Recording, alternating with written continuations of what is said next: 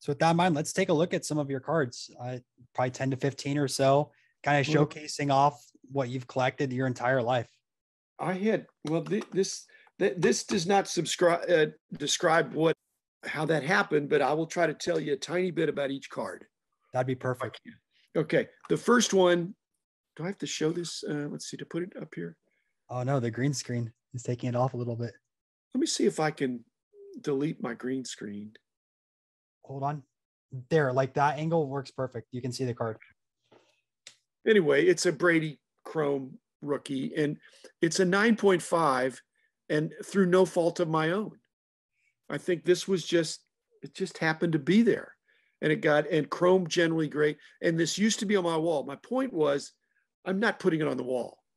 It's too much of a temptation for somebody. So I put a nine paper up there just so somebody can say, oh yeah, you've got to, you know, the, unless they're a serious collector, they don't really care.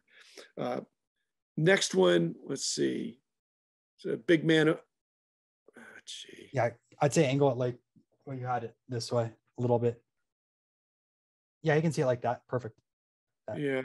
Again, now this is a 10. The frustration about this big men on court, Kobe, is that it's a 10. And again, no fault of my own.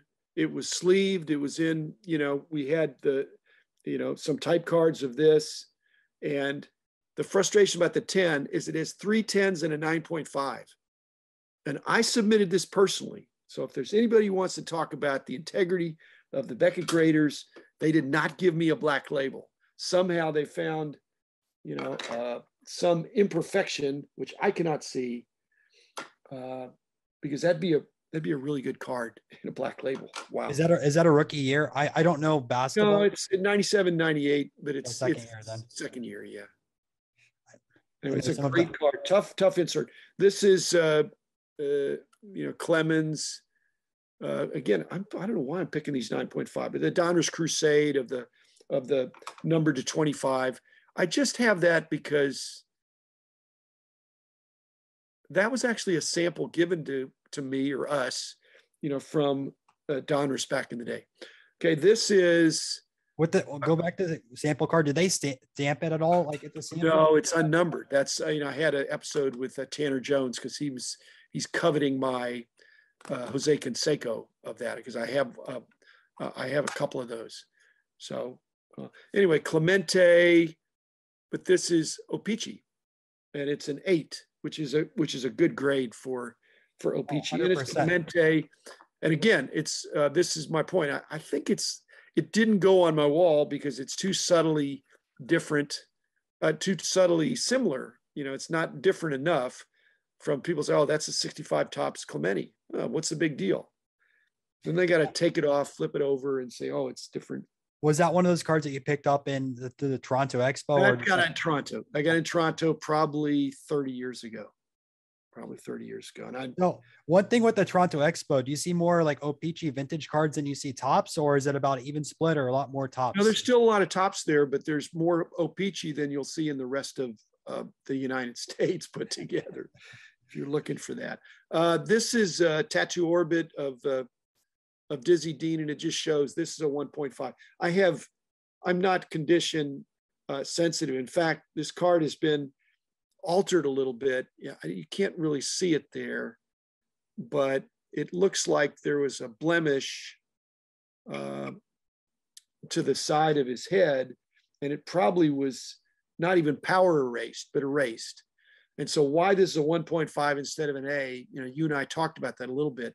Whether it's an A or 1.5, it's a very tough uh, card from from uh, from 1933.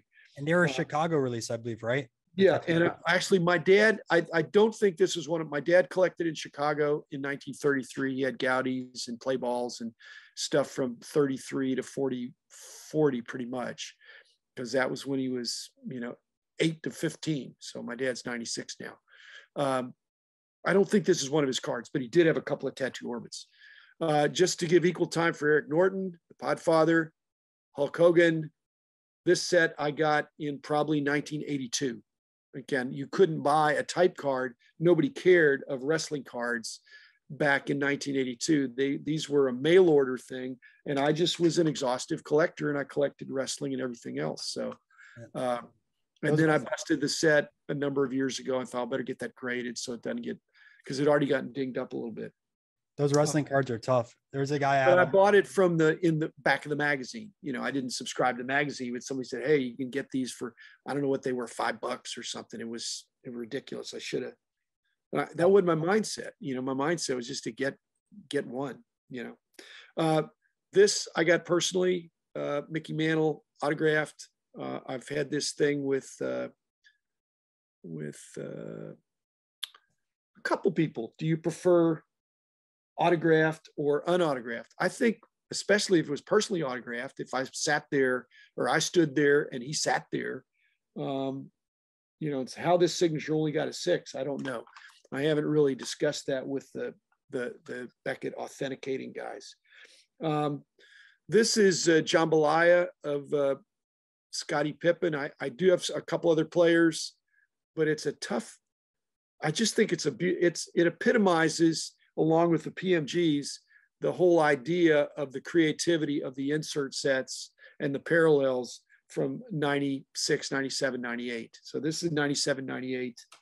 Again, very creative. And I, I don't think that's why Fleer went out of business, but the hobby did not fully appreciate that. Uh, that.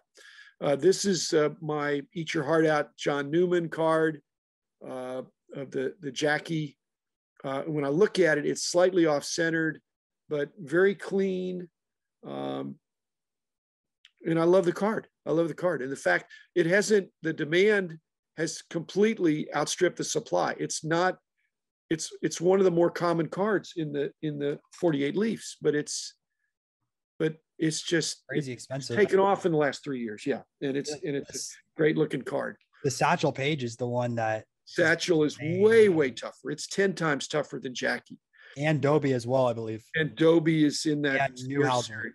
And I, I, do, I have those actually. I mean, I, I see that's what I was working on. I wasn't working on European stuff. I was finishing my 48 leaf set.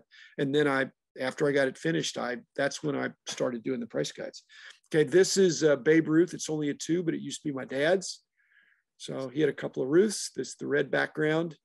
Uh, I actually don't care what it's worth because it used to be my dad's.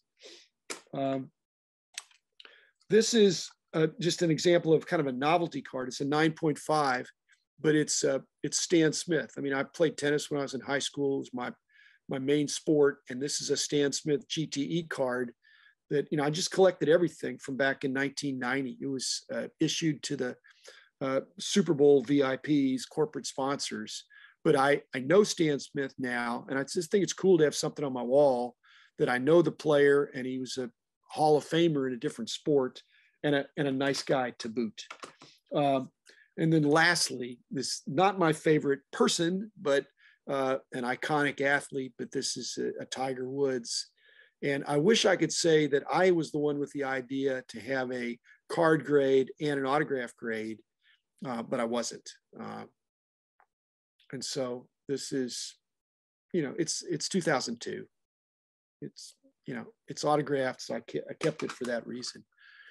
But i'm not i i want to I, I think people that love sports and love the players they need to love the player as a role model for how to be great in that sport.